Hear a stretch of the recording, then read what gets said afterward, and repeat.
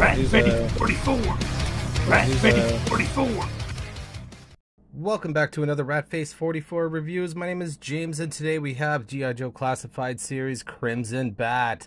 We're going to open this puppy up, so let's get this started.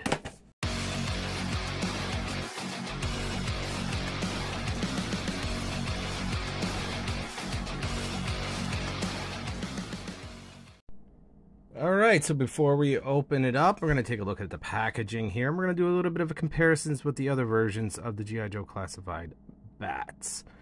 So, I this is probably my favorite artwork out of all the G.I. Joe Classified uh, series artwork. It's pretty much the same thing as the previous uh, classified uh, bats. Uh, it's just, you know, more flattened out and this one actually kind of wraps around, which is really cool compared to the other ones, which really didn't wrap around.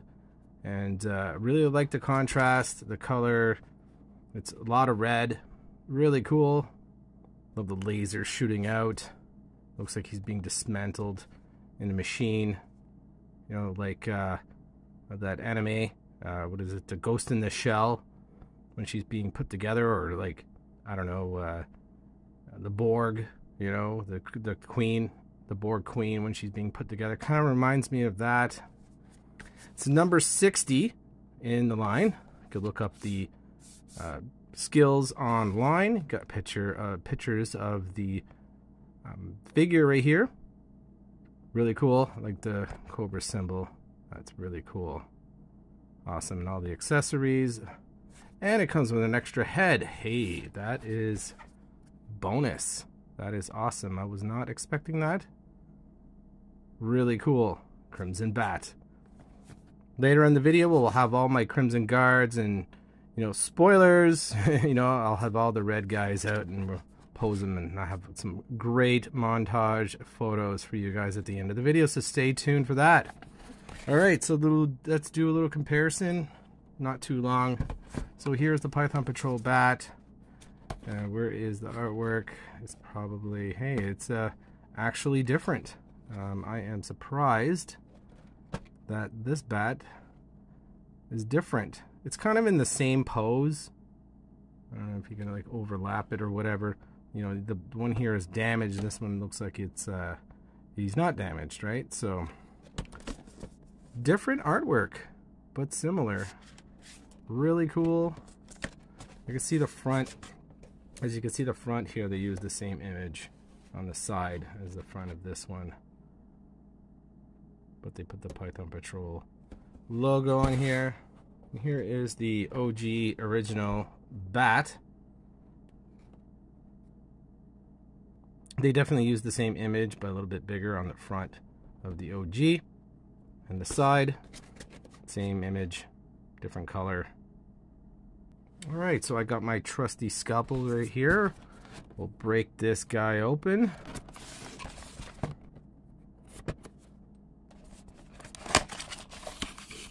Cardboard City. There's the figure. And there's the really cool weapons crate. Check that out. Really nice. Not too bad. Alright, so before we look at the figure, we're going to look at the accessories that are the smallest uh, weapon right here is the uh, sidearm, little laser pistol, or whatever you want to call it. Same as the other bat, We'll take a look at that after we do the comparison. And it comes with all these little accessory, arms accessories. You got the hook. And you got the flamethrower here. Or welder. It's probably a flamethrower. And you got the blaster. Check that out. All in this kind of black or even kind of, um, it's kind of charcoal. It's not really, really black, but it's kind of charcoal black. So it comes with a couple of these chest plates here. One damaged, and uh, you can see the Cobra is all kind of scratched up, and there's holes through the through the, the, the plate here. And this one's really nice and clean. I don't know if I, I can't read that, those numbers, but really cool, nice detail on the chest plates. So here is the damaged head. That looks really awesome. Really cool. Like there's black and it's like smashed. Underneath. It looks, uh, I, I love the contrast with that. Really cool. And I got tons of bat heads because I have tons of bats. So here is the backpack. And you got some nice mechanical detail here. It's just like the other backpack, except for, you know, you got some nice red highlights with these tubes that are uh, coming out of the side. And you got the backpack peg. And as all as we all know that you could put all the accessories in this backpack, which is really super cool. There you have it. This is awesome. So here he is in the cardboard prison. So I'll get them all uh, get them all out. Hopefully uh, there's no QC issues, and we'll take a look. The back of the packaging has a really nice Cobra symbol here. Really nice. And here is the figure. So we'll go through how he looks, like we usually do, and kind of uh, quick first impressions of what he looks like, what he's uh, what he's packing. So so far, I really like the color. It's really awesome. Amazing. Amazing color, amazing deco. He has this kind of uh, kind of a brownish red on the on the side here. Really kind of cool. Awesome. So we'll start from the top. I don't want to mess around. So we'll start from the top right here. You see he has a, that silver face plate. There's a little silver highlight, little vents, a little silver square on the side of his head. On the back you see some, um, you know, kind of uh, mechanical detail in black. And he has this kind of wash type dull color that's on his shoulders here. And uh, kind of more mechanical type of uh, gray highlights. You got some like smoke grenades here. Really cool. Chest plate, silver, really nice detail here. I like that. And he has this kind of shiny, looks like rope on the side, but it's just, just like some sort of uh, texture. And uh, going down his arm here, you see the uh, you see a nice uh, silver cobra symbol, which is really awesome. A nice kind of dark uh, wash over the red, and you got the black uh, mechanical arms, Terminator style. It triggers. Awesome. And he has this other symbol right here. I'm not sure what that is. But Take a look at that. Nice mechanical arms. I really like that. Got a nice uh, kind of gray uh, belt uh, connected to his connected to his sidearm uh, holster. And uh, there's one thing about these bats that, that this kind of strapping thing is always misaligned, so you always have to fix it into place. So he has another kind of pouch here, black kind of uh, thigh pouch, and the holster, of course, riding a little high. Right, so like I was saying here, it has this kind of wash on the side here of the red uh, kind of pants, you could say, I guess. And uh, nice texture on these pants. Got nice wrinkles got these kind of knee pads red knee pads. Seems like they're unpainted. Just the plastic color red plastic and we go down here we got these black bands that go around these gray boots with a little tiny little pouch on the side of the boots here and you got a black kind of uh, highlight or strap or whatever that goes on the top of the boots here and nice grips on the soles. Alright, so let's go through how I feel about this right now. Um, a little disappointed at how loose it is. You know, I have other other bats in my collection and they are not like this. They are not loose.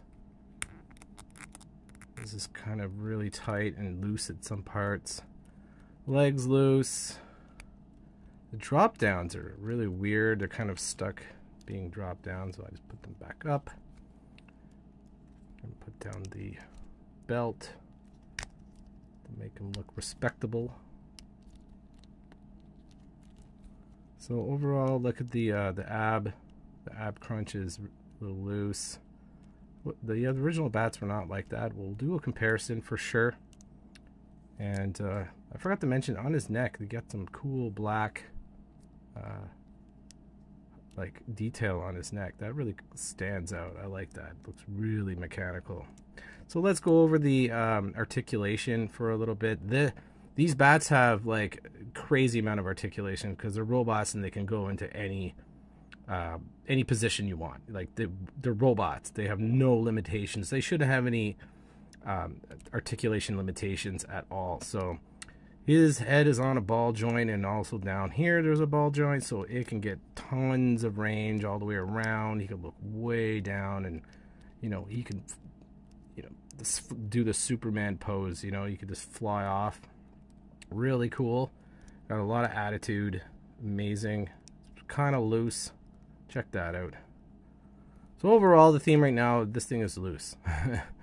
so you got butterfly shoulder joints. They go way back way forward, pretty close to being uh, not too much forward, but a lot back. You got the swivel at the uh, bicep. You got uh, like a single jointed elbow. I think it's kind of double. It's kind of double, isn't it? Kind of a double hinge, single. Hinge. I don't know. It's kind of weird. It's a it's a, it's a robot. So what the hell? You got some a side to side action here with his wrist, trigger fingers, like I mentioned, and you probably have a side to side here no up and down but just side to side on both both hands yeah no no down and you got the ab crunch you can look way way down like that way back and the, the, even the diaphragm the, the, the the swivel at the waist here is, is kind of loose you know a little disappointing but I think this would display really nicely he's not locked up at all so he has uh, pinless uh, knees. And I guess the uh, the elbows are pinless too. They kind of have this weird, cool hinge. Cool. And let's uh, yeah, you could uh, move this really far back. Like you could twist like crazy. So, which is pretty awesome. He's not broken because I've seen other pictures of of these guys just broken out of the package, I guess, or they just fall apart. And it feels like this uh, figure is going to fall apart. He's so loose. Yeah, so there you have it, guys. Um, overall, right now, my first thoughts, um, he looks really cool. I have a second one. I'm going to open them up. At the, we'll do a comparison and see if it, if it has the same kind of issues. Most likely it does. So let's put the sidearm in. There we go. It's definitely, and I'm going to put the nice clean chest piece. I think my other one will be a damaged one. I'm not too sure right now. Or I might just make them clean and, and hang out with the uh, Crimson Guards and the Crimson Twins. That was that's exactly what I was thinking. That I wanted these guys to be hanging out with the Crimson Guards and Crimson Twins. Yeah, man. Really cool looking figure. A little loose. But overall, I really enjoy the color scheme. Red and black is my jam, right? So, so let's do a little bit of comparisons with the other Crimson bats. So I broke out the uh, Python Patrol bat and the regular old bat.